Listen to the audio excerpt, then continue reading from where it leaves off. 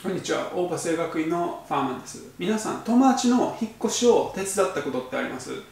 僕は大学生の頃アメリカに住んでいたんですけどアメリカって車社会だから学生が1人引っ越しするぐらいだったら自分で車を出すかトラックを借りるかして友達か親に手伝ってもらって全て自分たちでするんですよね。わざわざお金を払って業者さんに頼んだりしないんですよね。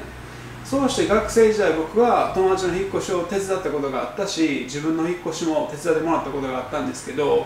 引っ越しする時って古い家具を捨てて新しい家具も買うこともあるじゃないですか。だからそこで想像してほしいんですけど自分が男の大学生だとしますよねで女の子の知り合いに頼まれて引っ越しを手伝って本人の新しい家で IKEA の家具を組み立てようとしているとしますよね。でそこに別の男と女友達も頼まれてきたとするじゃないですか。で今新居に4人います。ベッドも棚も車から運び終わったことだしこれから IKEA の新しい家具を組み立てようかってなったとしますよね。でそこで別の男がいきなりあのバカでかい工具セットを持ってきてね。そこからこうごっつい電動レンチを取り出して電源をつけてこうウィーンって音立ててね。でそれを見た女の子が2人ともすごいって言い始めたらみんなだったらどう思います？IKEA の家具を組み立てるのにそんな豪華な工具セットなんていらんやろって思いません？だって六角レンチちゃんと箱に入ってるじゃないですか。他の箱も開けたら人数分の六角レンチあるやんって思いません？そんなすごい工具セット持ってくるんだったらホームセンターで木材買ってガレージ行って手作りの椅子作れよって思いません？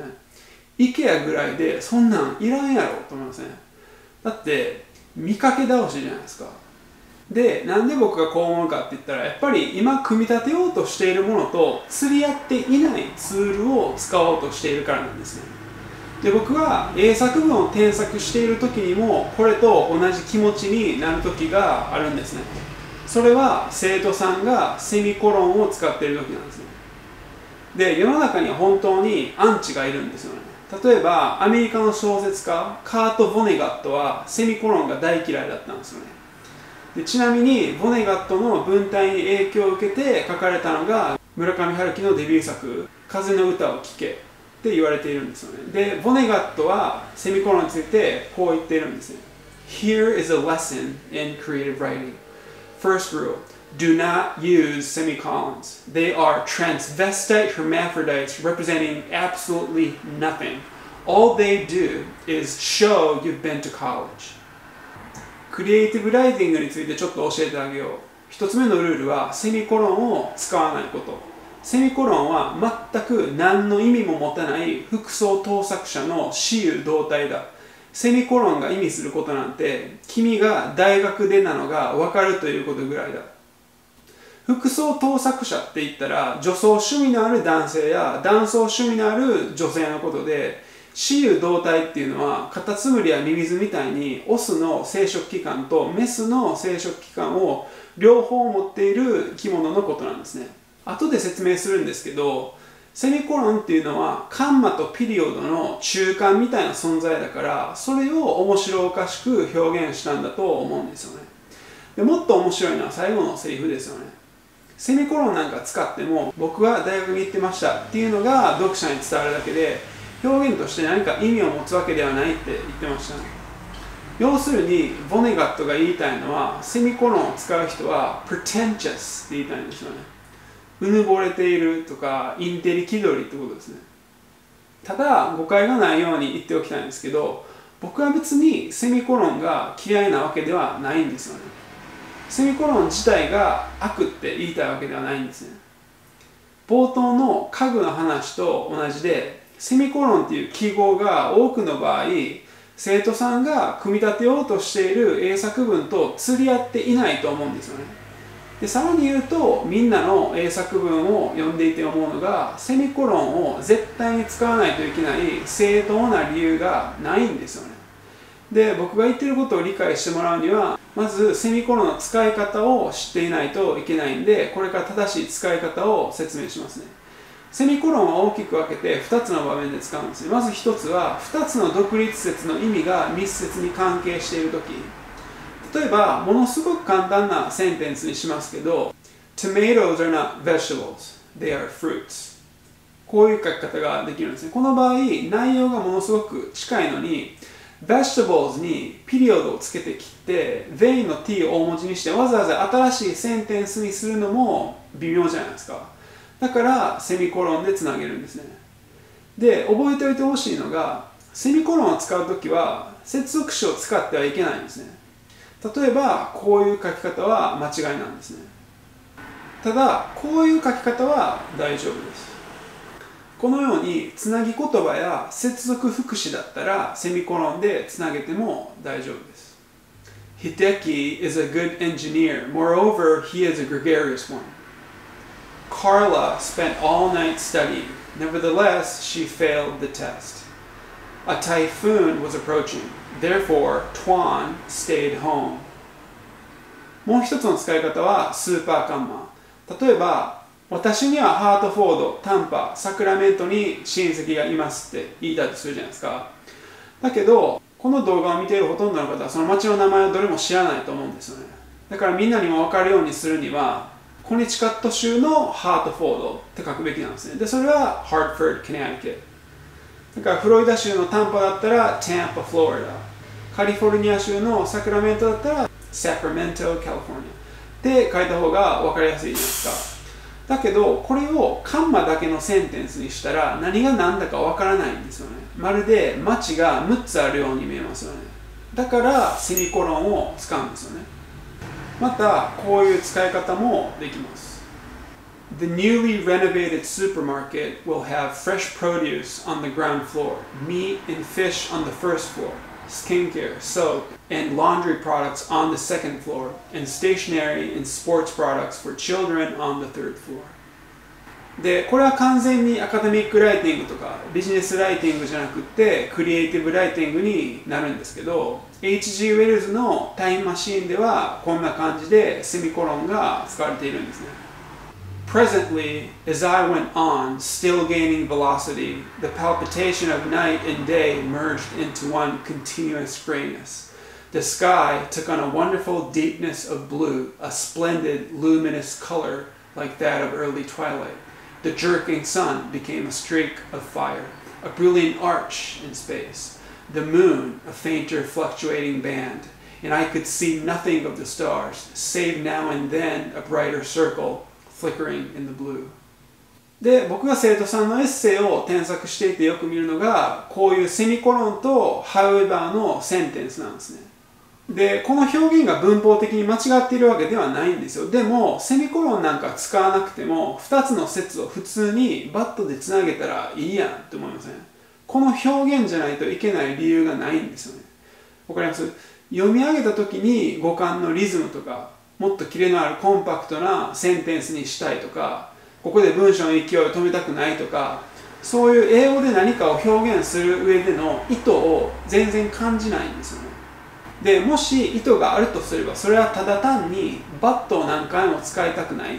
それだけなんですよ。要するに単語の重複を避けたいだけなんですよね。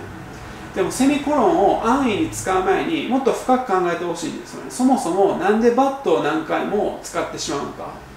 それはあなたの英作文が十分ばっかりだからなんですよ。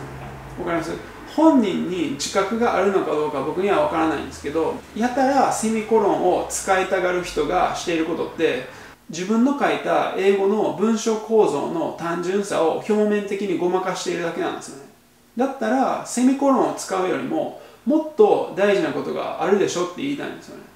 もっと従属接続詞を使ってもっと副文を書く癖をつけないといけないですよね。だからこのセンテンスする場合バットが嫌だったら although 使えばいいじゃないですか。although the sun was out it was still cold.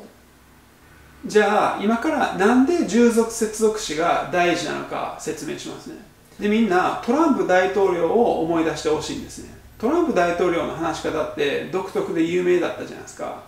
であの人はロボットみたいな話し方をしているヒラリー・クリントンや他の職業的政治家と違っていつでも自然体で思ったことをずけずけというのが彼が支持を集めた理由の一つだったんですけどその一方でトランプの話し方は小学校4年生レベルって言われてるんですね。まず音節 syllable が2つ以上の単語を使うことが圧倒的に少ないんですね。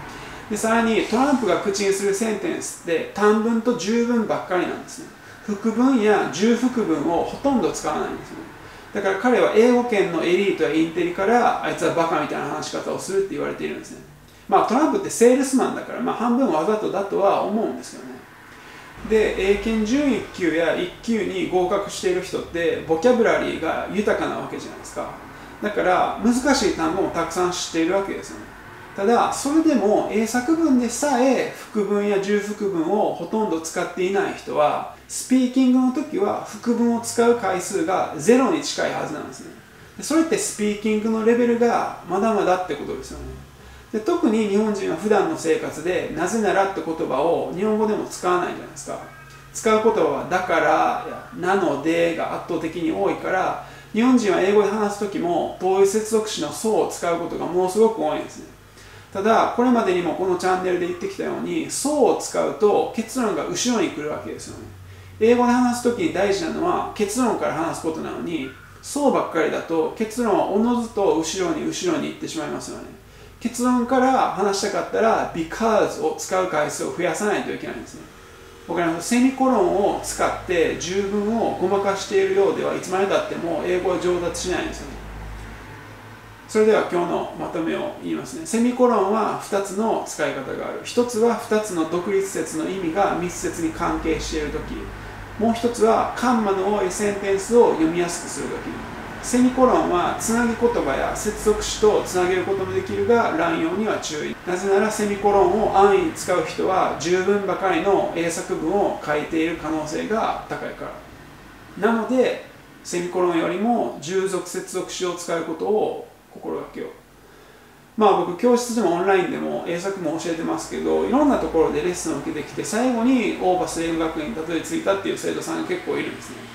で生徒さんの話を聞いているとねやっぱり他のスクールや教室って表面的なテクニックで生徒さんの英作文の点数アップをさせようとしているところが少なくないみたいなんですよね。例えば which を使って無理やりセンテンスを伸ばす方がスコアを稼げるとかなんかそんなことばっかり教えてるみたいなんですよね。で僕からしたらいやそれ違うやろって感じなんですけどでセミコロンの乱用も見てて思うのが英語教育ビジネス自体がテクニック変調になっているのがおかしいし空虚です。ねでまた冒頭ではセミコロンを使うのは pretentious っていう話をしましたけど多分大部分の人はそれを意図しているわけではないと思うんですよ。ねただ単に参考書に載っているセンテンスを深く考えずに真似しているだけかもしれない。でもだからこそ僕がいつもこの動画で言ってるように参考書とか教科書とかの英語ばっかりじゃなくって英語圏のプロが書いた生の本当の英語に触れてほしいんですよね。で今日の動画では結構まあきついこと言ったかもしれないですけどみんなの英語力アップにつながればと思って、まあ、言ってますしまたネイティブの英語の先生がねあの日本人の生徒さんにやっぱなかなか言えないことってあると思うんですよね。だからそういうこともこのチャンネルでは時々発信していきたいなと思ってます。それではこの動画が参考になった面白かったという方はチャンネル登録といいねよろしくお願いします。ありがとうございました。